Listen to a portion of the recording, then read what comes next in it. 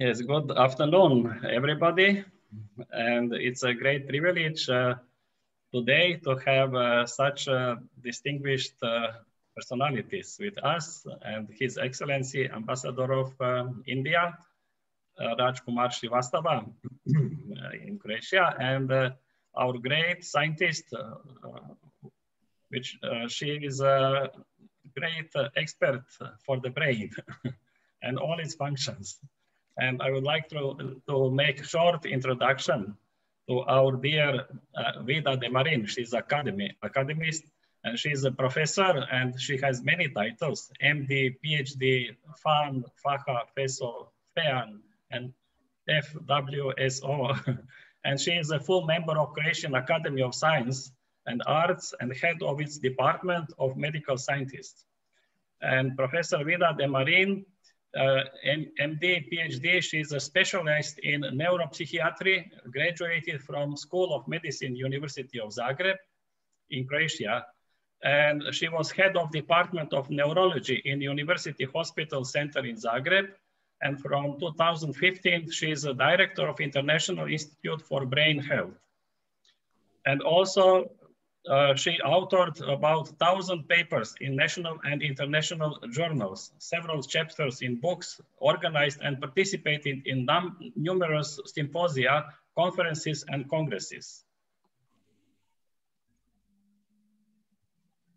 Also, she is a founder and one of the directors of Summer Stroke School, Health, Lifestyle, and Prevention of Stroke and Other Brain Impairments in Inter-University Center in Dubrovnik and president of Traditional Mind and Brain ENTC in Pula. She is a member of numerous national and international professional uh, societies and she uh, serves various scientific advisory, ed editorial and re revival boards.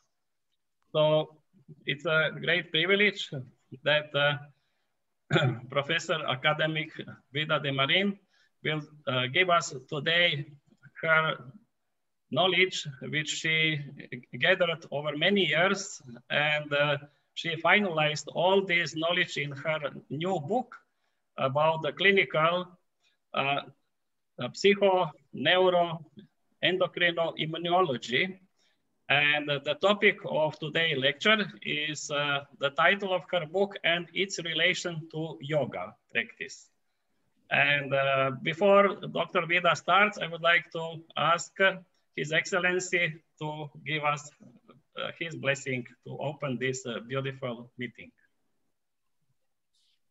Thank you. Thank you, Yogacharya Miklec. This is very interesting session that you have organized. And uh, I'm uh, personally thankful to Dr. Vida Demarin for joining this session. Uh, despite her so many hats and so much of experience, she could take time out to, to address us today. It's, uh, we are very thankful for that, uh, especially in the context of yoga. And uh, uh, just we are in the month of uh, what you call International Day of Yoga, which just passed by on 21st of June. This was the seventh edition of the International Day of Yoga. As you know that in 2015, United Nations declared 21st June to be celebrated as International Day of Yoga. And we are very happy that we are in Croatia, where all these seven editions have been celebrated in quite uh, what you call interest from the people in general in Croatia. This year we had uh, we had uh, around about 40 locations where this uh, International Day of Yoga was celebrated, and we have close to uh, 2,000 people who participated in different events. Now, most important part of this uh, uh, like interest about yoga is that people are knowledgeable about the real power of yoga and real essence of yoga which is beyond just the physical exercises and i'm sure that today's session will address that part that how immune uh, how yoga can help in improving the immunity but connecting it to the scientific principles of like uh, modern medicine, which uh, Dr. Vida Demarin will probably, and I'm very much keen to listen to your experience and how you are connecting these thoughts. Uh, because in this time of pandemic, uh, many of these thoughts have come across that uh, from the physical and mental health and from general happiness and uh, kind of avoiding the anxiety connected to the pandemic, there is a very good solution in yoga if you practice it and know fully well that what you are doing. Uh, and in that sense, uh, I do practice yoga in my own uh, limited way, but I have found many, many positive effects of it in my personal life. And I hope that more knowledge can be sh uh, shared through these sessions, which Yogacharya Miklec have been organizing very regularly. And we are thankful to him also because uh, it is like a universal knowledge set which is being shared globally now thanks to the digital revolution uh, sitting from our comfort zone, we can actually interact and uh, share this knowledge. Lastly, before I finish, I would also like to invite you, even uh, we have not yet finalized, but in October 2021, that is this year in October, first week, we are going to organize the first International Yoga and Ayurveda conference here in Zagreb. Uh, physical session, not the virtual session. And uh, we hope that you will get time to address that particular expert uh, meeting of hopefully 100 plus uh, experts on yoga and Ayurveda will be joining here in Zagreb. Thank you very much for joining today. Thank you. Thank you, Your Excellency. And now, dear Dr. Vida, our brains are on your disposal. Thank you. Thank, Thank you. you. Good afternoon, dear participants. Dear ladies and gentlemen, dear friends, I would like to express my gratitude to His Excellency, Mr. Raj Kumar Srivastava, for being a host of this session, and of course to my dear friend, Jadranko Miklec.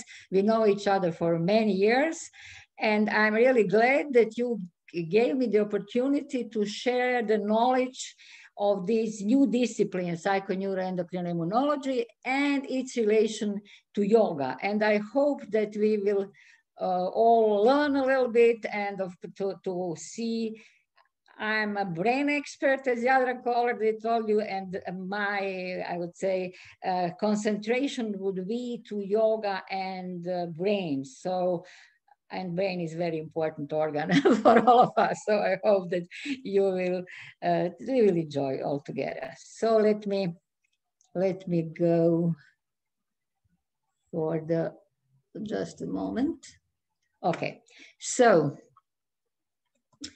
uh, this play presents the new concept of the impact of stress on health by emphasizing the closeness of on uh, health psych, brain, and body systems, thus being the basis of a new discipline, and it is called psychoneuroendocrinoimmunology. It's, well, very long name, but uh, explaining what is going on, the relation between psych, uh, neuro, endocrino, and immunology, and we call it for short PNE this is this idea of the interconnectedness of organs and organ systems is neither new nor revolutionary. Moreover, it is very experientially achievable. And over the years, it has been necessary to publish the results of hundreds of thousands scientific studies in order for this idea to be scientifically grounded. And still, we are waiting for its translation into the clinical everyday medicine uh, because it is not yet uh, really present in this practice, everyday practice. So that's why my colleague Sanja Toljan and other colleagues, we, we put all this together in this book in order to make this knowledge more, uh, I would say, present in, in everyday physician's practice. So the aim of PNE is to apply medical knowledge to the treatment of different allergic, immune, autoimmune, rheumatic, endocrine, cardiovascular, neurologic, dental pathologies, and many others. And uh, it is important to, to also point out that epigenetic factors and major stressors from different type of stimuli acting through distinct pathways and neurotransmitters are highly involved in altering this PNE axis resulting in the emergence of the disease. So for uh, all of you that are not completely familiar what's going on in the disease, I would like to point out that uh, some uh, psychological uh, stress, uh, psychosocial stress, leaky gut, T-cell dysfunction, then early life stresses, diet, uh, changes in diet and obesity, all these states can uh, introduce and cause chronic inflammation. And this chronic inflammation then is the basis of the diseases like cardiovascular disease, depression, cancer, diabetes, to mention only some of them. So it's not just high cholesterol when someone is having infarction, myocardial infarction. It is the chronic uh, inflammation in the blood vessels supplying the heart and then all this stuff with the metabolics uh, is, going on. So we have to change a little bit our, our paradigm uh, and to try to concentrate on the whole uh, whole person, not just an organ or a part of an organ as well. So let us go more than 100 years ago. Uh, Hans Selye, I'm sure that you have heard about him. He is the person who were investigating stress, and he was the first one who, who published all his data about stress. He was Hungarian origin, uh, he was born in Vienna and in 1907. And there he finished his schooling and uh, medical school at University of Vienna. And after that, he moved to Montreal and he passed his whole life there, organizing one institute, a group of people and colleagues. And he devoted his life to investigation of stress. And he passed away in 1982. Which, uh, we, we really owe him to, to the majority of these data related to Uh, how stress is involved in everyday life, how is it causing illnesses, and how we can avoid some of them. So if we well try to to see how he was considering stress he said that man should not try to avoid stress any more than he would shun food, love, or exercise, and that it is not stress that kills us, but it is our reaction to it. And also he said that adopting the right attitude, can we, we can convert a negative stress into a positive one, and also very nice sentence to, to be totally without stress is to be dead. So we don't want to be dead. We want to to live also with a little bit of stress but of course we have to learn how to, to cope with it.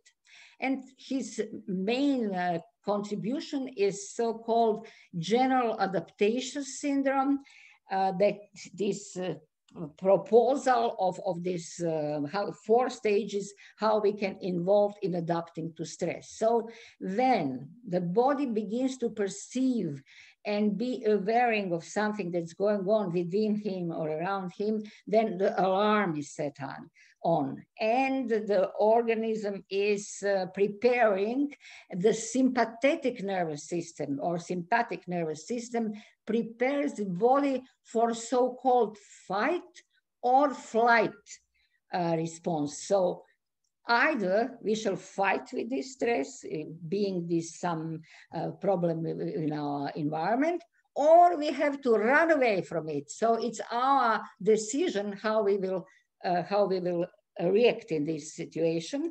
And this fight or flight response is that the, the activation of sympathetic nervous system.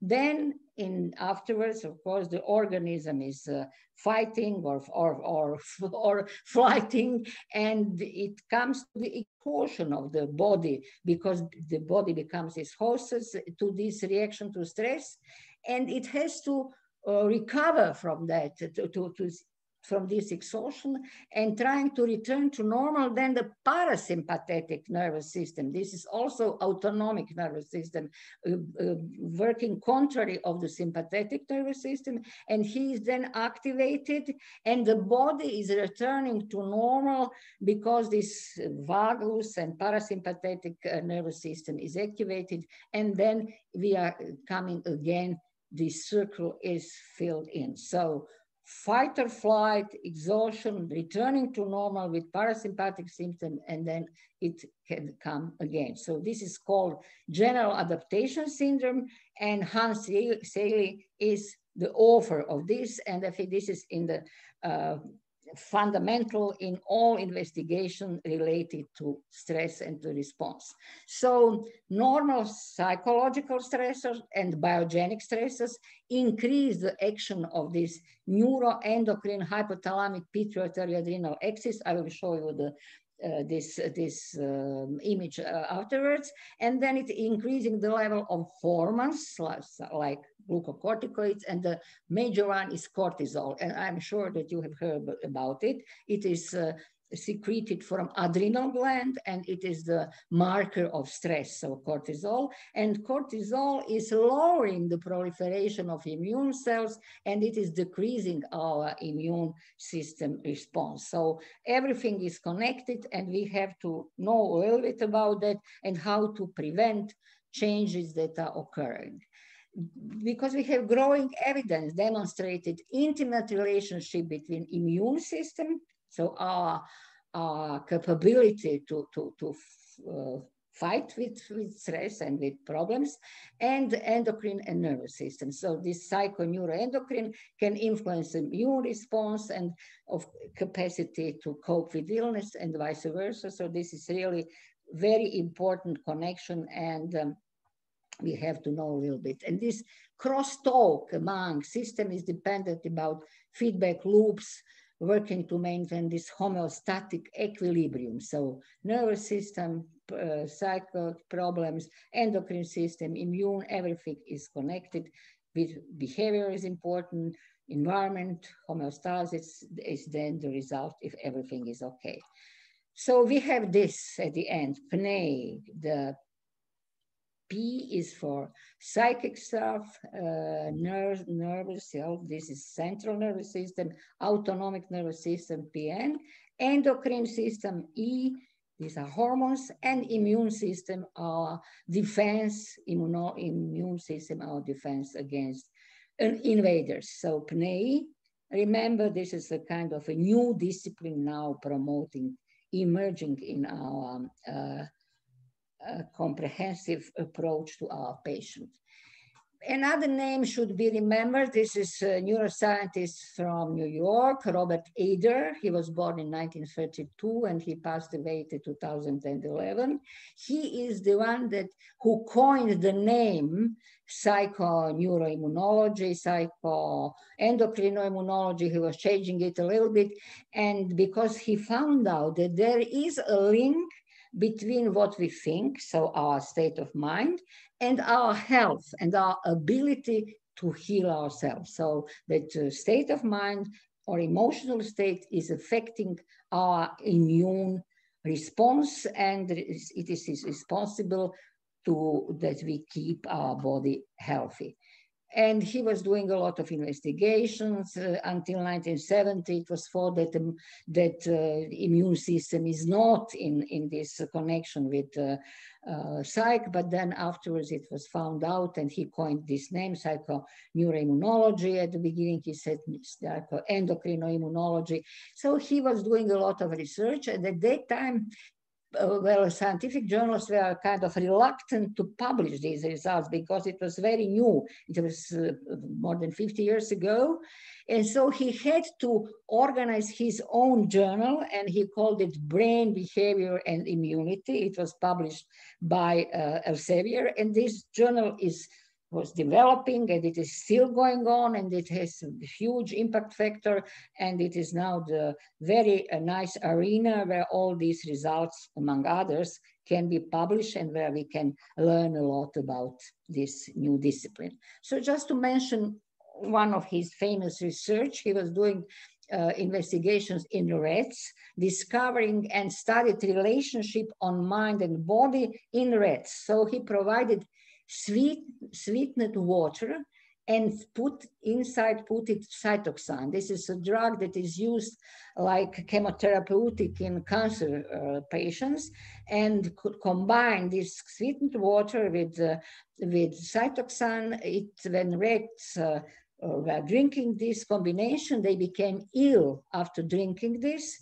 And uh, then he wanted to see what would be the, their reaction if they will drink only the water without this drug that was causing this uh, uh, illness. And when they are, this drug was removed, so rats were given only sweetened water, but they became ill after drinking only water. So he concluded that all this is psychological. So they were uh, learn to this behavior that they will become ill after drinking. And even without these active substances, it was only the water, they became ill. So this was one of the proofs of this uh, important uh, brain uh, influence on our behavior. And this is this axis. So hypothalamus is a part of the brain. Uh, pituitary gland is also part of the brain and adrenal cortex is a part of is uh, uh, in uh, on the kidneys we have this adrenal glands. So hypothalamic pituitary uh, adrenal axis because from hypothalamus corticotropin releasing hormone is released. Then it acts to this pituitary gland and the, the, another hormone adrenocorticotropic hormone is released acting to adrenal cortex and that at the end it is in, it is uh, then um, putting out cortisol. So this HPA axis is important axis. We have negative feedback also. So this is this you should remember as an important uh, problem related to our psychoneuroendocrine immunology.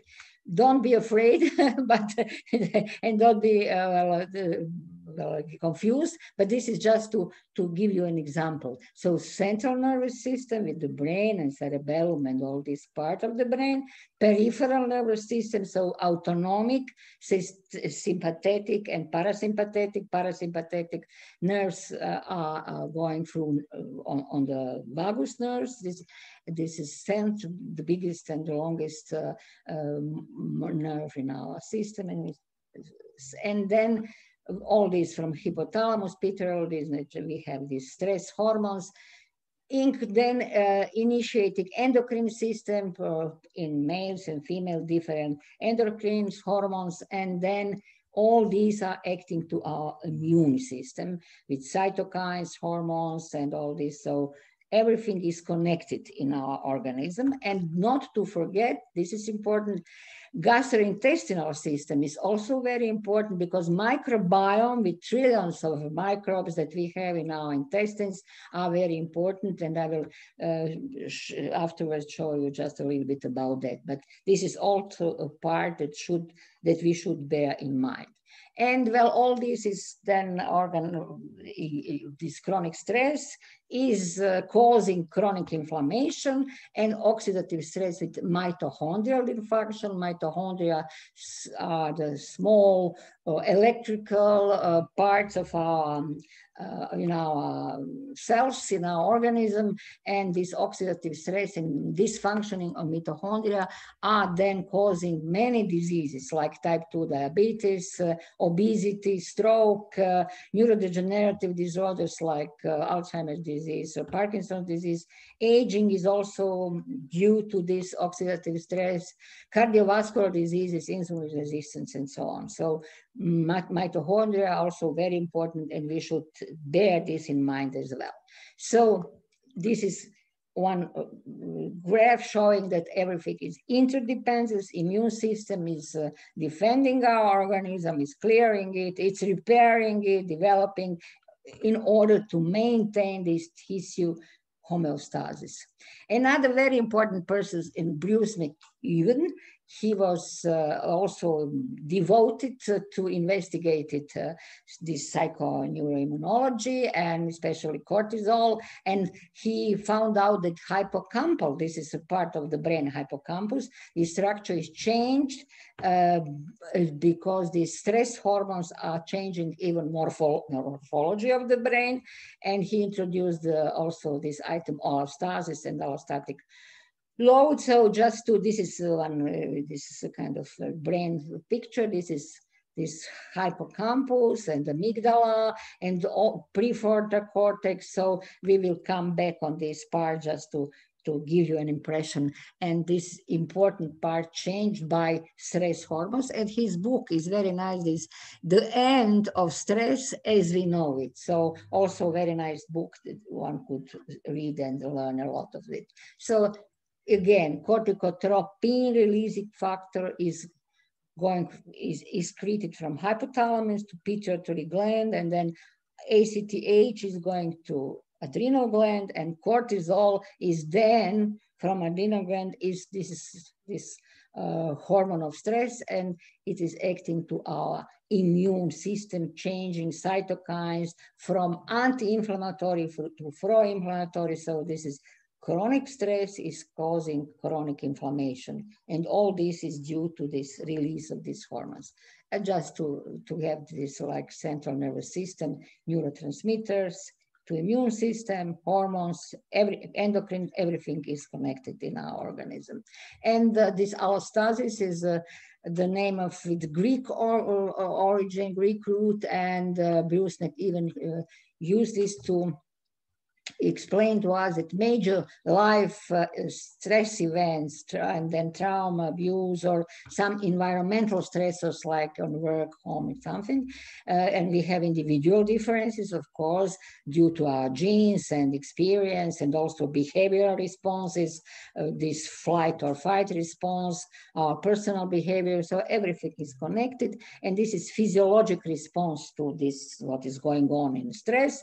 And um, allostasis uh, is adaptation to these changes. And if it is too big, then this is called allostatic load because allostasis means achieving stability through change. So we are changing our organism, ourselves, everything is changing. Uh, and this uh, cortisol is causing this parasympathetic nervous system, sympathetic, inflammatory cytokines, anti-inflammatory, all dimensions. So this is, uh, these are too many details. I can't go in details, but just to get the impression what is going on. And of course, proposal of the need for an integrative approach, a science of name must go hand in hand with health education and promotion of healthy lifestyle in order to well attain patient health.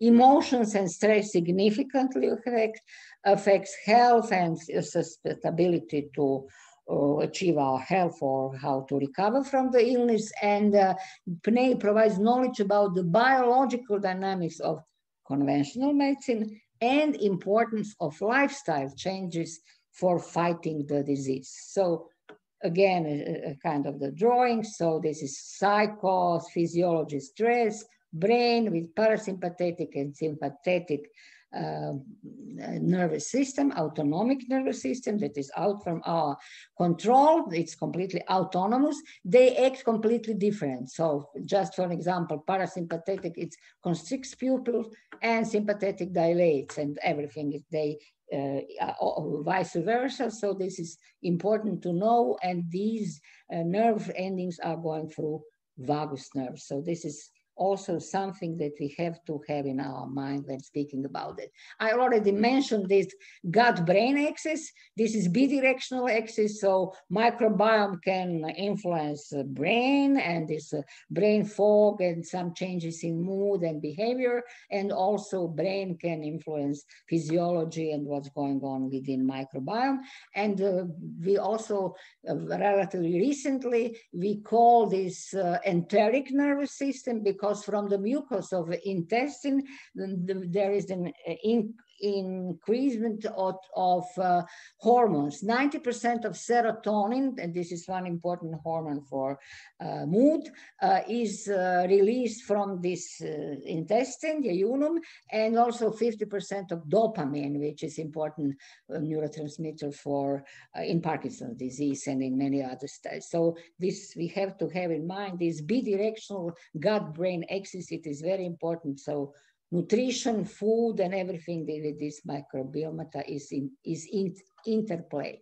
And our contemporary colleague is from Italy, Francesco Bottaccioli, professor, he is physio uh, philosopher and uh, uh, daughter is internal medicine specialist. They have written several books, very important books and manual. He's also devoted to psychoneuroimmunology contemporary, and this idea is the embodiment of a new physiology to clinical practice. So he's a kind of originator of this new paradigm of healing, and he wrote the following sentence that the root of PNEI lies in the study of stress from Hans Selye to the present day. So it is possible to unite two great traditions, biological and psychological, in the study of stress with the aim of reconstructing the balance of health and disease. So what we need is a new science that will remove this narrow-mindedness of 20th century scientific culture, whose roots is, is, is this reductionism,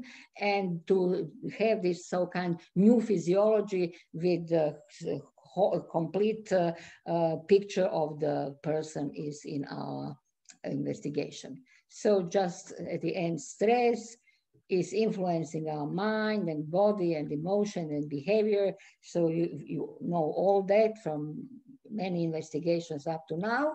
I already mentioned epigenetics. We don't have enough time, but just to, we have to say that Bruce Lipton is uh, the scientist, American scientist. He was a professor at Stanford University, and now he is devoted to, to this epigenetic and uh, trying to show to the person how uh, how they can change their um, health, uh, how reprogramming uh, their genes by changing what they are thinking, they are becoming. So this is this was revolutionary, also important investigations published in 1980 or, or, so. And he said that our perception of any given thing at any given moment can influence brain chemistry, which in turn then affects environment where our cells reside and control the fate of our cells. So uh, we can, let's say, decide shall we be uh, diseased or healthy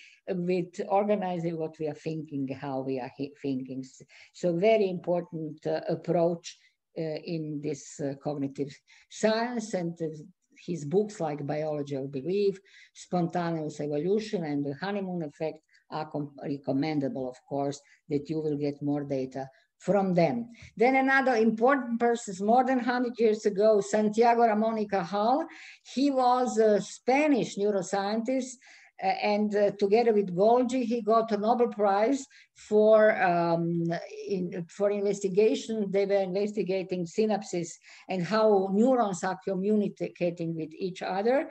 And at that time, he was through uh, microscope he was uh, investigating the brain and then he found out that if he was stimulating a part of the brain another part would then uh, start to change uh, and to make new items so this was called neuroplasticity the well, very important uh, mechanism of neuroplasticity. Even before him, uh, um, uh, James was uh, in 15 years uh, before he introduced it, but he, uh, Santiago Ramon y Cajal is considered, let's say, a father of this uh, neuroplasticity mechanism. But then for 100 years, nothing was going on, only with the decay of the brain at the, at the end of uh, last century, it has become more important. And he said this very famous uh, sentence that every man can, if he so desires, become the sculptor of his own brain. So let us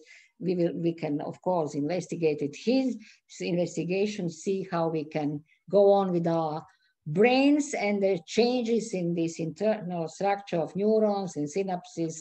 This is called this plasticity of the brain. Here we have neurogenesis, new synapses. We don't have time to go in details, but just to get the impression that brain is changeable. It's not fixed and not hardwired. We can, uh, with stimulus, with thoughts, with many other, with chemistry, we can uh, influence our brain and make it more healthy. And another important person is Viktor Frankl, psychiatrist who said that between stimulus and response, there is a space. So in that space is our power to choose our response. in our response lies our growth and our freedom. So we can use, shall we fight or flight? Shall we um, believe something or not? Shall we change our uh, behavior or not? So this is very, also very important uh, data that we got from Viktor Frankl. He was, we know that he had this uh, excellent psychiatrist with many books. And well, finalizing with these diagnostics and treatment in uh, uh, we have to have the very detailed questionnaire, physical and psychological examination, laboratory findings with cortisol curve and assessment of allostatic load, and also for therapy, changing in lifestyle, uh, then circadian rhythm should be interchanged and introduced. Physical activity is important each day, and mental hygiene. So meditation is also very important uh, to be introduced uh, for this uh, changes. And together with Sanya Toljan, uh, we edited this book, Clinical Psychoneuroendocrinology.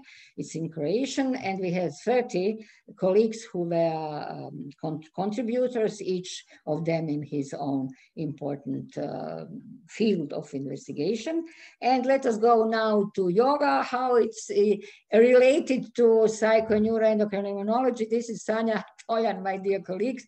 She is sent me this photo. She's with her friends in Lika in her holiday house and they are practicing uh, yoga and all this very nice uh, physical activity, meditation, and they are behaving really in uh, accordance with circadian rhythm as well.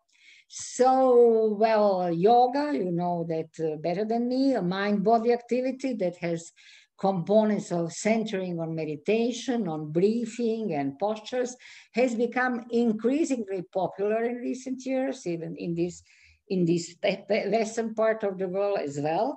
And its effect on cognition have become a particularly important area of inquiry in recent years. So this uh, is systematic review of current literature done by um, Nata Gothe and colleagues and published several years ago. Look, there were a lot, uh, some kind of investigations for many years, but only 20 years ago, around 2000, the number of uh, these publications, scientific publication in uh, PubMed and other scientific basis registries have increased tremendously. So we have now a lot of data with many research related to yoga and this neurophysiological and neurocognitive mechanism underlying the effects of yoga-based practices with bidirectional feedback loops involving autonomic and allostatic regulation. Look how many parts of the brain and centers and spots are activating in yoga, in amygdala, hypo, uh,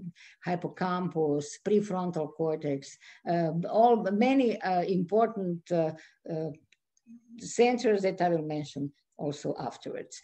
So what's going on in the brain during meditation? Frontal lobe is a part of the brain. This is frontal lobe. Uh, this is most highly evolved part of our brain and it differs us from any other species. It is responsible for reasoning, for planning, for emotions, and for self-conscious awareness. And during emotion, this frontal cortex tends to go offline it is not functioning anymore. We are completely relaxed related to this uh, function of the brain. Parietal lobe is next to it, this yellow stuff, and this is part of the brain processes sensory information about surrounding world, about orientation in time and space. And during meditation, activity in the parietal lobe slows down. Then the brain during meditation, what's going on in thalamus. This is the gatekeeper for the senses. This organ focuses our attention by funneling some sensory data deeper into the brain and stopping other signals in their track. So meditation reduces the flow of incoming information to a trickle. And then another important part is reticular formation as the brain's century. Uh, this structure receives incoming stimuli and puts the brain on alert, ready to respond. But during meditation, it dials back this arousal, arousal signal. So definitely these are a situation, what's going on during meditation. And also electrical activity, we have several rhythms, you know, alpha, beta, theta, and delta uh, waves are important in acti electrical activity of our brain. And these beta waves are dramatically reduced during meditation as the brain stops processing information that would normally uh, do, but uh, related to uh, meditation, it is it stopped processing. So this is before meditation. A lot of beta activities is frontal, parietal, and occipital lobe, and after, look, there is no this beta activity. The brain is more relaxed. It's it's it's uh, passive, I would say, yes. uh, and also this is a nice picture. In this is SPECT, uh, um, important uh, neuroimaging method, single photon emission tomography. Before uh, meditation, see that there is metabolism of the glucose, everything is going on, very busy in our brain. After 10 minutes of meditation, relaxed, cool, as our young colleagues would say, so uh, completely different situation with our brain. And also, uh, there are a lot of other important uh, um, changes during meditation. One of very important is this increases gray matter, and gray matter in the brain are neurons, brain cells, and then connections. So gray matter uh, is is increased. And here we see yoga meditation boosts this great matter. So more activation after after um, practicing yoga, and especially after continuous practicing for several years, we have thicker part of this brain. And also this is one of uh, uh, important uh, data that right orbitofrontal cortex is one of the areas of the brain that appears to be enlarged due to meditation, hmm. not yeah, uh, during, but after. Vida, excuse me, Jadranko is but we yes. don't see the presentation, the PowerPoint. We can't see on the screen. Kaj, uh, nemate? Nemamo, da, morate ove share screen uključiti. Pa čekaj, kaj cijelo ovo vreme niste imali? Ne, nije bilo. Pa ne, pa kaj mi ne velite? Ajme meni. Čekaj. Just a moment. Why not? I'm sorry, because everything is... Uh, just a moment, čekaj, dio taj share. Dole pri dnu je ovaj. Just a moment. Gle, ovo je sad ne... Could it be possible to share some... ga imam. Share screen. Where is share screen?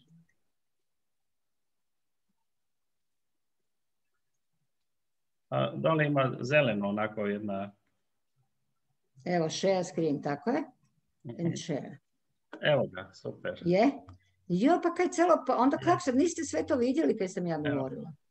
Pa to je grozno. Čekaj sada, onda da vidim di mi je taj. A gdje su sad? Evo ga. Jel sad vidite? Da. Da li je moguće da podelite prezentaciju kasnije u PDF? Da, da, je, je. Puno hvala, ako možete na mail. Super. Hoću, ja ću, samo, ću, samo ću sad doći na ovu jogu. Važi, važi. Ja sam mislila da sam ja imala nekih tehničkih problema, niko nije video. Ja, kaj niste govorili? Pa ja, ja sam, evo ga. Hvala. Okay, let us here we are with yoga now. This is our book and my colleague Sanya with her friends practicing yoga in Lika. And well, uh, I just mentioned that uh, 20 years ago, the lot of data we got from investigation in yoga in scientific journals. Here we are, and what's going on during this is frontal lobe and parietal lobe. So that they are going offline and slows down during meditation. And also thalamus is also reducing the in, influence of meditation and also arousal signals. And beta waves, look here, is completely relaxed. And uh, here we have after meditation, relaxing uh, brain completely. And also grain matter is boost. And here we have, okay, so this is one of important uh, stuff uh, done also by the same group of author that left hippocampus in uh, practitioners, yoga practitioners were more increased then in controls. And in other parts like caudatus and thalamus, there was a small change, but it was not significantly, statistically significant. And this is a part of uh, a systematic review of in current literature done by these colleagues. So uh, gray matter volume is higher, then cortical thickness is present, gray matter density and magnetic is important with years of yoga practice. And also what is important are neurotransmitters. So I already mentioned them. Neurotransmitters are uh, giving our well, messages from organs to organs. So it is vital that neurotransmitters are in balance for optimum common cognitive and physiological functionality. And this can be achieved when the brain is in meditative state. So we have serotonin. This is one of these important hormones, noradrenaline and dopamine. So they have to be in this circle of uh, homeostasis and allostasis. So to, in, and this is also a possibility that we can uh, achieve a kind of behavior to fight the anxiety. And uh, our brains, as already mentioned, uh, are not fixed hardware. They have uh, these pathways and circuits, and they can be changed by learning or with mental exercise. And meditation is really harmless way to encourage the growth of new hormones. This is neurogenesis and also synapses like synaptogenesis. And all these are a part of neuroplasticity that I already mentioned, especially with, with uh, Santiago Ramon y Cajal, who is one of the inventors, I would say, of, of, neuroplasticity. So by typing together these neurobiological effects of neurotransmitters, brain waves, and empirical evidence from these psychological experiments, we can uh, find out that meditation is effective treatment for anxiety, and uh, it does not suffer from any side effects like for example uh, would medicine do. And it is also very important as potential preventive medicine. It, it can be definitely recommended to everyone and not limited to patients suffering from disease. So also very nice study. What has neuroimaging taught us on the neurobiology of yoga? It is a review published a year ago. Uh, investigated 30 four international peer-reviewed neuroimaging studies uh, of yoga using magnetic resonance imaging, positron emission tomography, and single photon emission computed tomography. So there were 11 morphological, 26 functional, and three of them were classified as both functional and morphological. And consistent uh, result of, of these findings was that including increased gray matter volume in the insula and hippocampus, then increased activation of prefrontal cortical regions and uh, functional connectivity changes mainly within default mode of network. And here we have these are magnetic resonant images. There are a lot of uh, different uh, important data and analyzing that we, uh, we can find out what's going on within our brain during meditation. And important person is Sarah Lazar. Uh, she is professor at Harvard Medical School. She was doing a lot of investigation uh, related to neuroplasticity with long-term meditators, and he was, she was investigating them magnet, by magnetic resonance imaging, especially demonstrating uh, that amygdala, this is a part, a region of this, uh, of the brain where anxiety and stress are involved. And we know that amygdala is this flight or fight part of the brain and this it is involved in meditating, mediating the stress response. So the, the racing heartbeat, the fast breathing and release of cortisol. So she said that chronic stress is the best predictor of future illness because it floods the body with stress hormones what is deleterious for our health. And this is the basis of investigation in psychoneuroendocrine immunology. So definitely the same um, point of investigation in both disciplines. Then uh, her amazing brain scans show meditation can actually change the size of key regions of our brain, improving our memory, making us more comp compassionate and resilient under stress. And also his, she said that maybe with meditation and with yoga, we can prevent um, and slow normal aging. So we have meditators and control. So meditators are uh, the, the, this age-related uh, thinning of the cortex is slowed down. And she investigated one group of uh, Buddhist meditators, uh, well, 15 years ago and followed them for nine years and compared with uh, demographically matched controls. And meditation compared to controls had significantly increased cortical thickness in right, middle, and superior frontal cortex and the insula. And this age-related thinning was, was delayed. So definitely for nine years, uh, she was uh, followed them up and uh, got these very important results. And also a, another group of uh, colleagues with Fre and his colleagues, they found out that in their preliminary study in 2012, that uh, Hatha yoga practice may be associated with the promotion of neuroplastic changes in executive brain system, which may confer therapeutic benefits Uh, especially with repeated practice. This is important. As I already told you in neuroplasticity, and we, if we are changing something and repeating this, then there are changes in our brain and of course with epigenetic, with our gene also. So I already mentioned Santiago Ramon y Cajal, Spanish neuroscientist. He was introducing this idea of neuroplasticity. So uh, changing the brain. So this is his very nice uh, book, uh, Butterflies of the Soul. He was doing these drawings himself and the beautiful brain. So he was looking through the microscope, then making drawing on what's, what he saw through the microscope. So with attention, we can direct how this neural substrate is built and rebuilt so we can strengthen our brain. And yoga is one of the best possible physiological uh, situation that can introduce neuroplasticity. So yoga and neuroplasticity are very connected and important in, in this uh, practicing and especially in well, repeating practicing. And we also have a lot of investigation done related to stress reduction. So practice that include yoga asanas, appear to be associated with improved regulation of sympathetic nervous system. I mentioned this sympathetic nervous system. It is activating when this uh, alarm is uh, set on for this fight or flight response. And uh, also this hypothalamo pituitary adrenal system in various populations. So we have a lot of uh, studies like yoga, mindfulness-based stress reducing and stress related.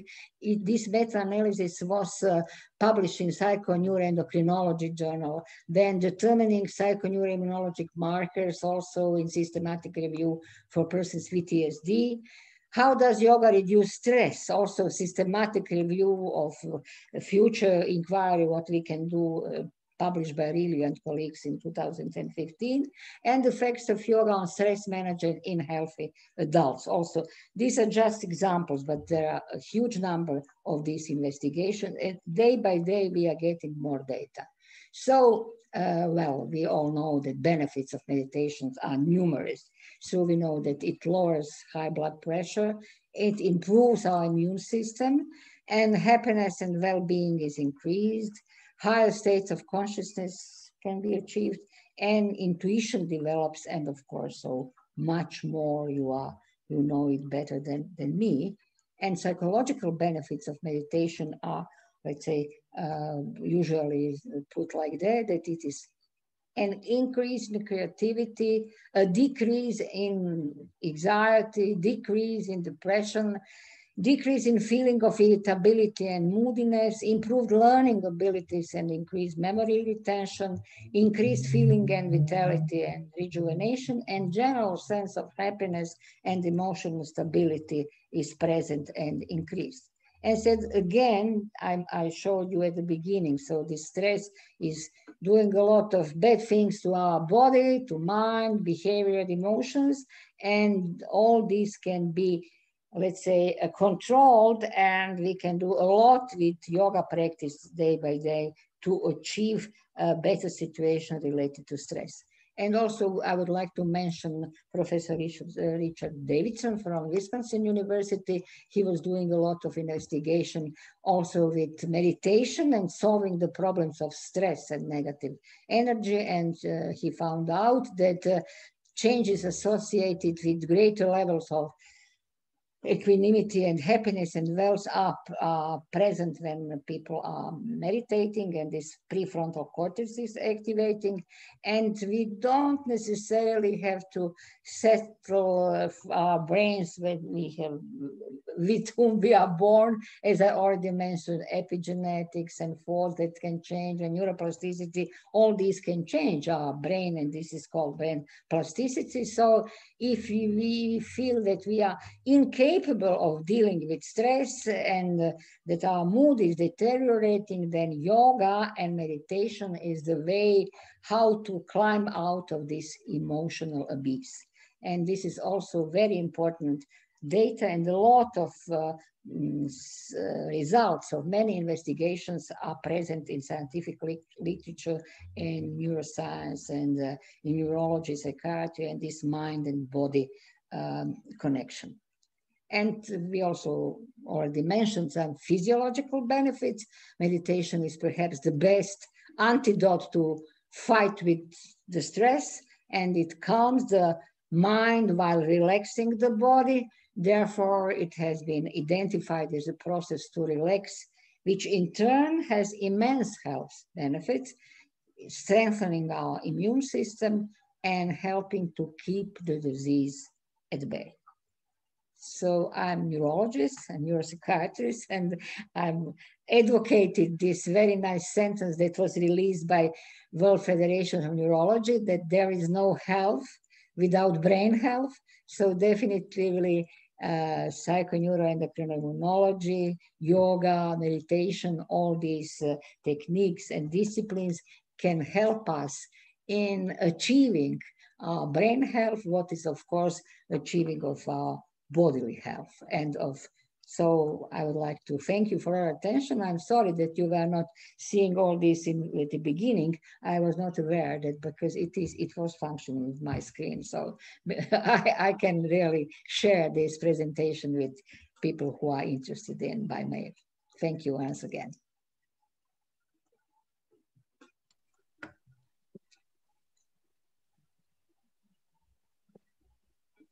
Okay. Yes. Stop uh, sharing. Yes. Okay, here we are. yes, okay. thank you. Thank you very much for such a com comprehensive uh, presentation. And uh, you gave a scientific uh, uh, proof with all the scientific language, what was the experience of the yogis thousand years back of that connection between consciousness and the body. Yes. And uh, as it is explained in Taittiriya Upanishad, one very ancient literature, where they explain about different levels of our existence, different koshas, our physical body and then energy body and then mental body and emotional body, all the levels you were connecting on a very practical level and showing us how we can, through change of the state of our consciousness, we can change our brain and change our physiology. And uh, keep keep body in a healthy condition. Thank you very much. Thank you. Thank yes, you. Thank I would you. like uh, His Excellency Raj Srivastava to address us. Thank you. Wonderful. Uh, what a wonderful presentation. It was uh, as expected. Uh, I was hoping something like this, uh, very enlightening. Uh, you have explained certain things which prompted me to tell few thoughts that came to my mind. you you remember that Nikola Tesla had said after attending the uh, World Conference of Religion in 1893 in Chicago, he was there and Swami Vivekanand, one of the very famous spiritual guru of India, was there, Swami Vivekanand. He was uh, speaking there. And after listening to Swami Vivekanand, Nikola Tesla in 1893 had said that he was saying the same thing from a spiritual perspective, which Nikola Tesla was saying from scientific perspective. Sure. So today's presentation from you was very much similar to what uh, Yogacharya Miklec was saying from a yogi's perspective, and you were saying from a neuroscientist perspective. Yes, sure. And the, the truth is only one. It's yes, that's true. that's true. So that okay. is very important to highlight that from time to time, the what you call the Eastern civilization and the Western uh, thought process have found the commonality and uh, it's just a question of addressing the same issue from different perspective and finding the same truth.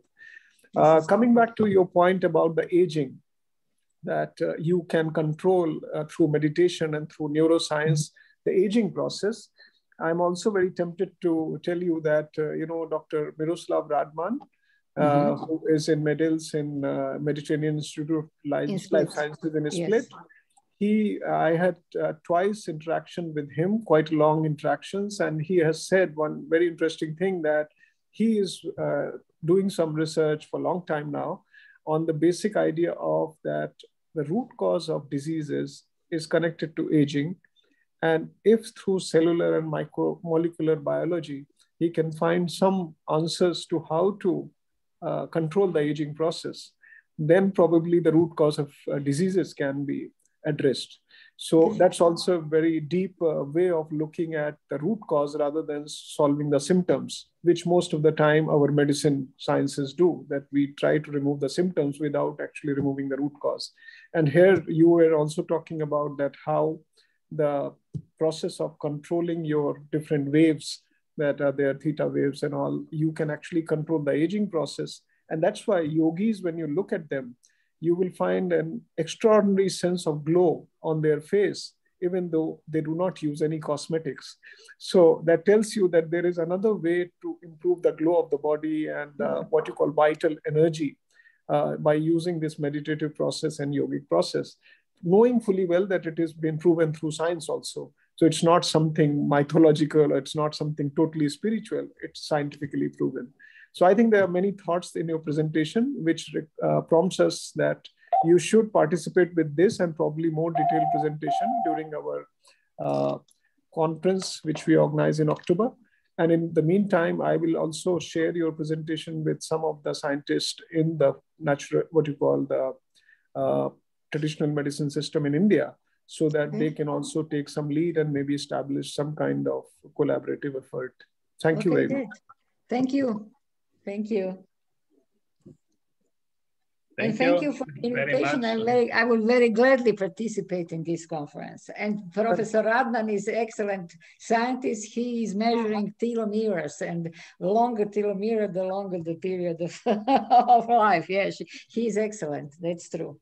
Okay. And in fact, uh, I must share with you that we are establishing a very interesting cooperation between MEDILS, that is Mediterranean yes. Institute of Life Sciences, and National Brain Research Center in India, in Gurgaon. Oh, so, which oh, is great. connected to neurosciences, uh, which you, okay. your field is. Yes. And NB, you know, NBRC is one of the prominent institution in India. Uh, just uh, on the first week of this month, they had a uh, like this today uh, we had a virtual conference between MEDIL scientists and NBRC scientists, mm-hmm. and your presentation might be useful for to sharing with MEDILs and NBRC. Okay, great. Thank you. Thank you. Okay. So, thank you very much thank once you. again, and uh, to all participants, and uh, we were very happy and uh, dear Vida, you changed plasticity of our brains with your I'm glad. And this was my intention. Okay, great. Thank you for the invitation. I think this is a huge field of uh, possibilities of investigation. So we can set up collaboration in many different ways, I'm sure. Yes, absolutely. Yes. Uh, do we have any do we have any moment for questions or yes, yes Yes. Uh, okay, uh, I have a question for Dr. Vida, uh, and I'm speaking in English just uh, English speaking participants. Uh, when we were talking about um, uh, neuroscience and all these elements, how our brain reflect the possibility of diseases or so, My question would be how much, if any, real influence or impact of some of the imprints of trauma is transferred from generation to generation. Uh, for example, often it was mentioned that the survivors of Holocaust transfer their collective trauma uh, to the next generation. So, do you think this is uh, really only a psychological phenomena, or is there some kind of physical, genetic uh, imprint and then it transfers through, from genes uh, through generations from generation to a next generation. Well i'm i'm not sure that i don't have enough data related to that but i think that it's mainly psychological. That it's not genetical kind of stuff because we are yeah i would i already so. mentioned we can change our genes so genes can be changed yeah. through these uh, thoughts so collective, let's say, um, it can be just psychological. This is my fault, but I was not in, investigated that uh, with details. Mm -hmm. Okay, thank you. Thank you. Thank, thank you all. And I guess I'm done for today. I don't want to take any more of your time. No, it's okay. Thank you. I just have one short question. Uh, did you, during your work, tackle a little bit the topic of chronic fatigue syndrome? Because this is also something that could be approached from different sides. I'm more more focused on the nutrition, but also meditation, yoga, uh, breathing techniques, etc. Are I think uh, helpful, and this is something that is really starting to be very, I mean, uh, all around us. Yeah, that's true, and this is multidisciplinary approach should be there because it is it's one of the let's say examples in psychoneuroendocrine immunology that a lot of uh, special specialists from different fields should be engaged in uh, an approach to, to this problem because that's the, this is the idea of this let's say new disciplines with all this inside because uh, chronic fatigue syndrome is molesting the person definitely, and ruining the quality of life. But yeah. if then uh, all these important uh, data are taken into account from brain and psych and uh, hormone and all this in um, then afterwards immune reaction then it can be helped and people would the person would be okay it would be nice i will check with Jadranko if i can get your uh, connection so that we can continue sure. this discussion well, because I'm that. scientifically interested in this. Okay, topic. great. Thank you Thank very you. much. Thank you. Thank you.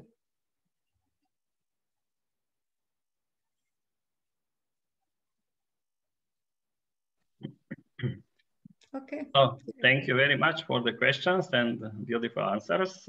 And uh, we hope uh, to, to have uh, opportunity to uh, be in the company of uh, Professor Vida and many times. Sure. and uh, because this is really the future of the medicine and the world to refer to the consciousness and to the brain. As you said, the healthy brain means the healthy body and healthy consciousness means healthy brain. Sure. And uh, so this is very important to come back to the source of all the problems as they mentioned in the Sankhya, in the very ancient literature text, that considering all the suffering in the life, the, the dukkha traya, the, the main three sources from where suffering and the pain and the, and the illness can come to our life, either our psychosomatic or from the environment or from all the possible angles, there is only one solution they found, and this is to get self-realization to realize mm -hmm. through self. So this is the main medicine. And uh, sure. you are just uh, marching in that direction, showing on a scientific way that this mm -hmm. is the, the, the real um, field of our life, which we can we need to take care of. It is sure. not enough taken care. Thank, Thank you. you. very much. I, I just wanted to highlight this point that you know WHO has now World Health Organization has established a traditional health uh, section in mm-hmm. WHO since 2015, mm-hmm. and uh, the culmination of that was recently found on 21st of June this year, when WHO along with Government of India together have launched M Yoga application, which is mm -hmm. downloadable on the telephone, uh, your smartphone, and you can get the authentic yoga protocols, uh, uh, which has been approved by scientists from WHO. So there is this movement towards taking the traditional knowledge to the main main uh, frame of the healthcare system. Great. Interesting. Thank you. Thank you. Thank you so much. Thank, thank you, everybody. Thank, thank you, you, so much. And thank see you. you again. thank you. See you again. Thank you. Very, yes. Thank you for the invitation. Okay, great. Yeah. Thank you. Bye. Dobro. Jadranko, ja ću vama poslati onda Može? prezentaciju. Jer ako, na Mhm. početku niste imali, znači te slajdove, niste vidjeli, Da, jel ste rekli? da, da. Ja ću